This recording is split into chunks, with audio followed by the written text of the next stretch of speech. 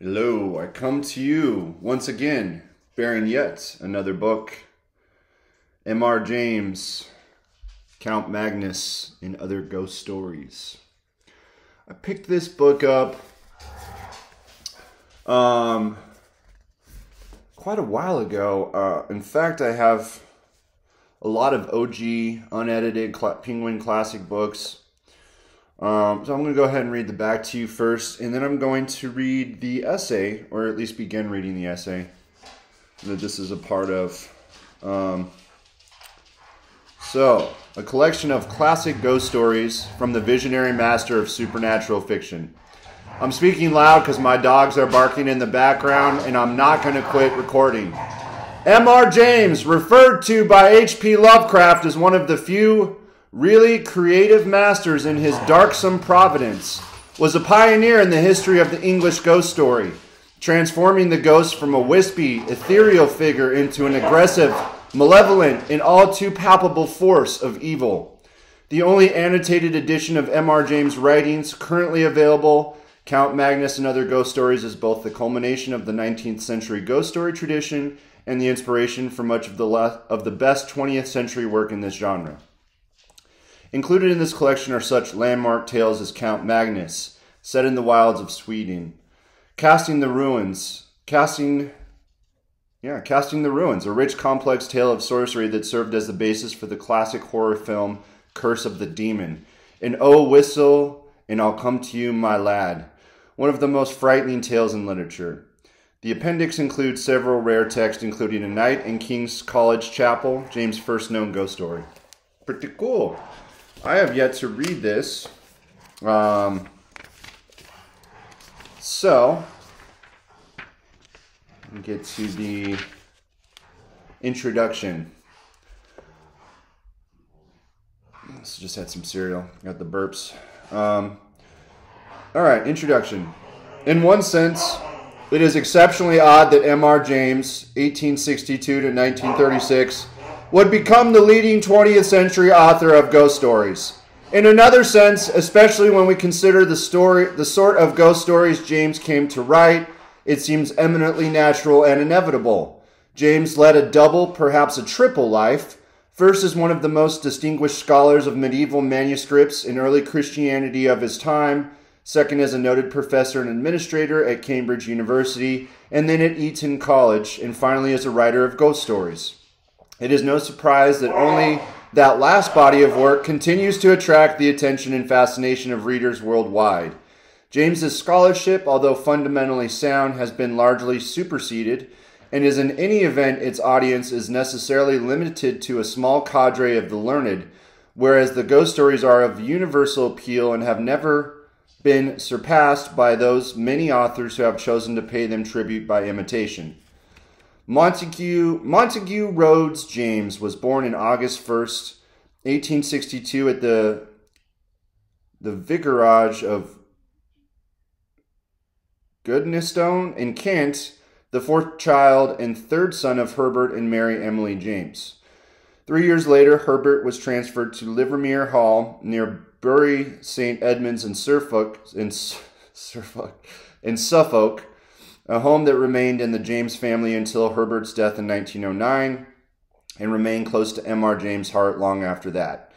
Herbert had fallen under the influence of the evangelical movement of the time, but there is little evidence that his children became doctrinaire or fundamentalists in their religion. Indeed, it was a lasting disappointment for Herbert when Montague eventually decided not to pursue holy orders.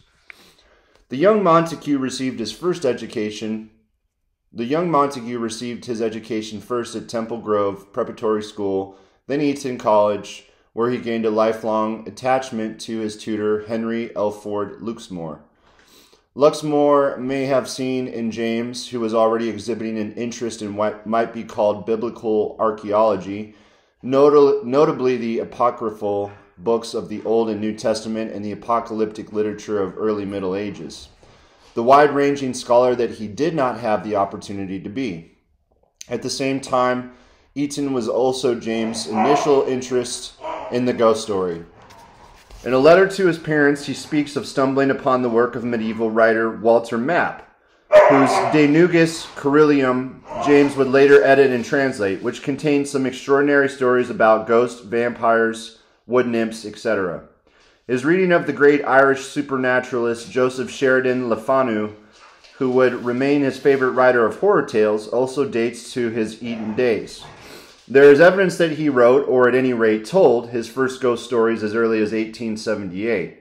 Certainly by 1880, when the Eton Rambler published his essay on ghost stories, see appendix, his interest was well established.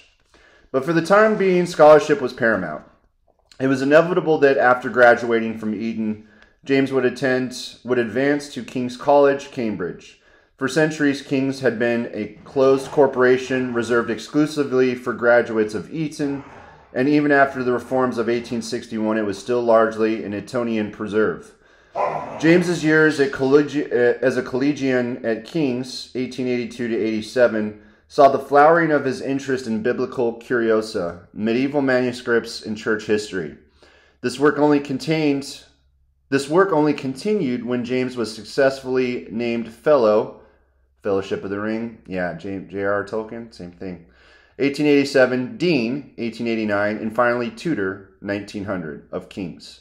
His first scholarly article has been published as early as 1879, but beginning in 1887, he commenced a series of publications books, monologues, I'm sorry, books, monographs, editions, articles, and reviews that would not cease until his death.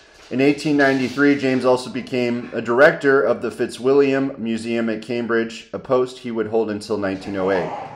How exactly James found the time for all this work, let alone the writing of ghost stories, was a puzzle to friends and colleagues alike, especially when one considers James's other interests, his devotions to Dickens, P.G. Wodehouse, and Conan Doyle Sherlock Holmes stories, his interest in card games and crossword puzzles, and of course the abundant conviviality he showed to his friends, students, and almost any other in and almost any others who came within his horizon.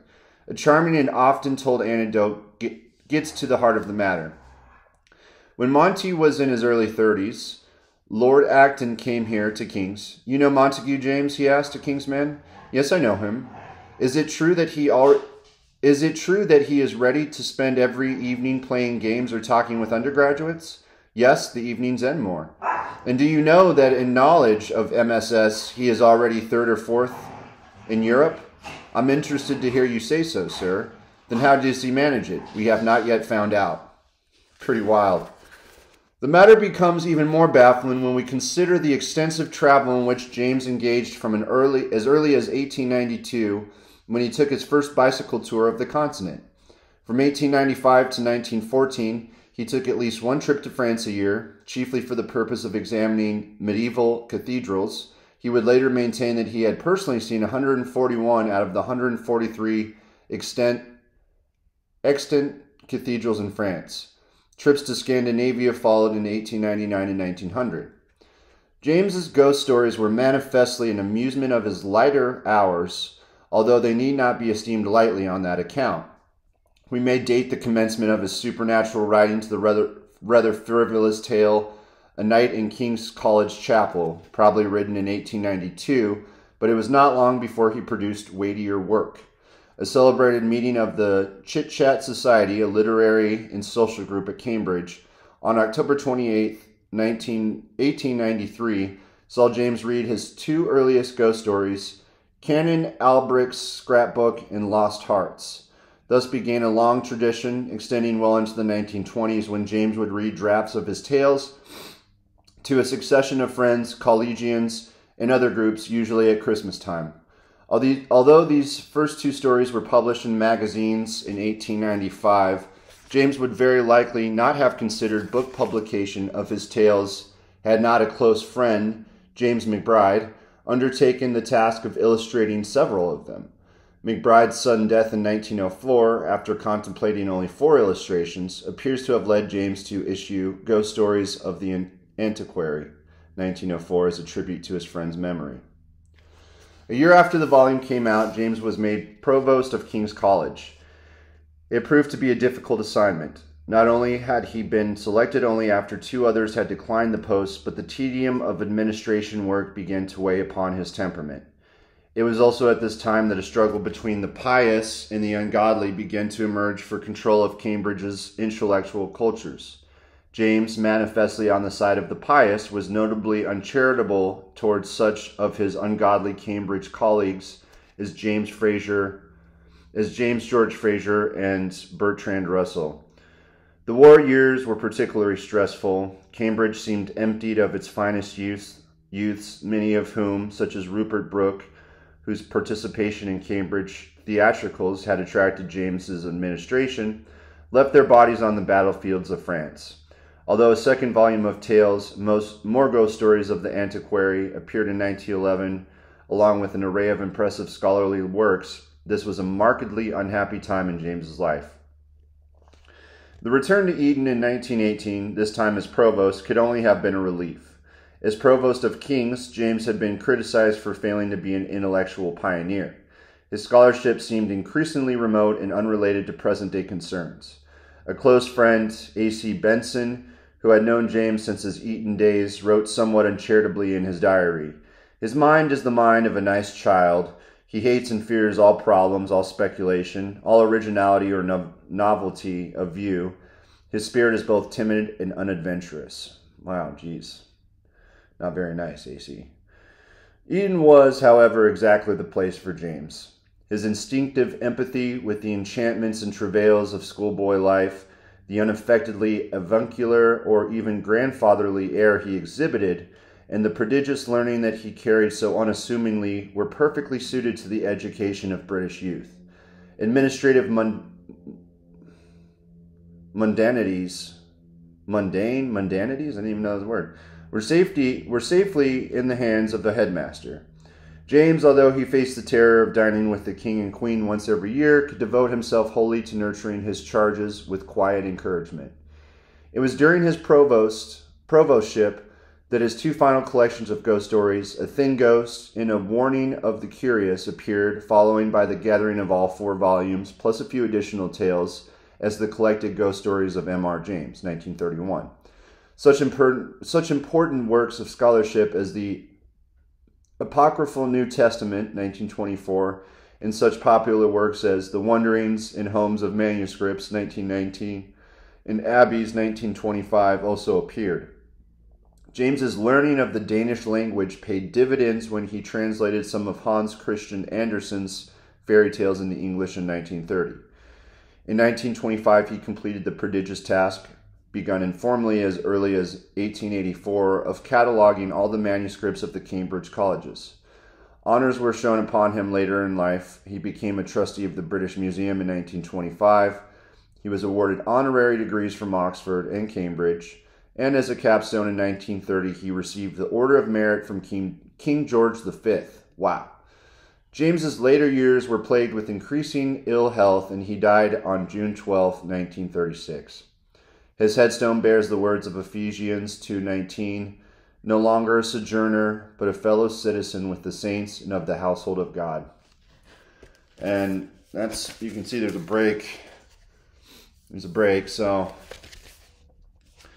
ah, you got a few pages there I read to you. Two, three, four, about five pages. Um,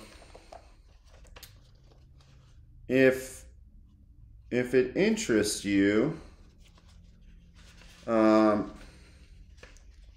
well, it interests me. Um, I will. I will read some of these. Not right now. Um, it's good. We're at 14 minutes. It's pretty long. Um, check this out. Um, this is the OG Penguin Classics. This is not an edited version. This is unedited, the way it was intended to be read. And, um, well, that's it. Until next time, check out some MR James if you haven't, and uh, have a good day.